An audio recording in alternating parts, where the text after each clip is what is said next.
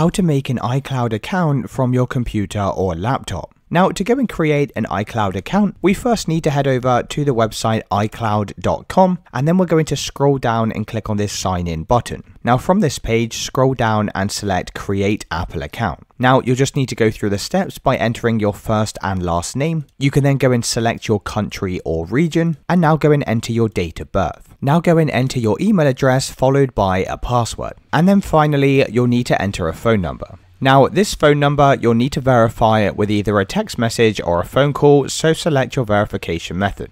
Now go and type in the six digits that you see on the screen and press continue. Enter the six digit code that will have been sent to your registered email. Once you've entered your code, press continue. Then finally, go and enter the code that will have been sent to your registered phone number. Now, once you finish, you can go and sign in with your new iCloud account, and you can use this across all of your different devices. Let me know in the comments if you found this video helpful.